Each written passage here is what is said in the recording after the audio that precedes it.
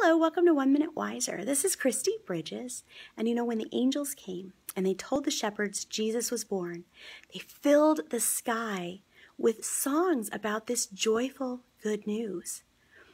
Goodwill to men, peace on earth, joy in the highest. And you know, Jesus did bring us joy. He told us how to pray.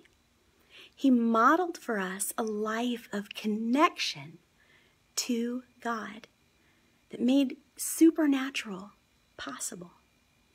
And then he gave his life so that we would be able to go straight to God. We wouldn't have to wait in line for a priest.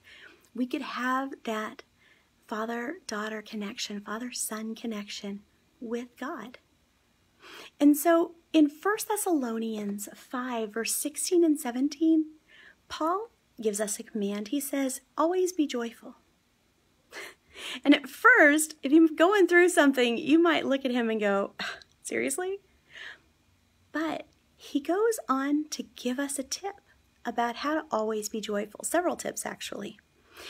The first one is never stop praying. When we are continuously in communication with God, then number one, we're aware that we're eternal and these circumstances are not. But number two, we know we are never alone. He's right there and he's got it under control.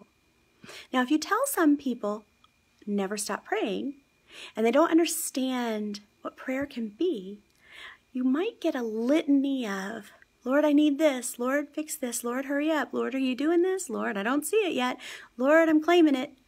Um, but if you had a relationship like that, where someone only gave demands and requests and pleadings wouldn't last long.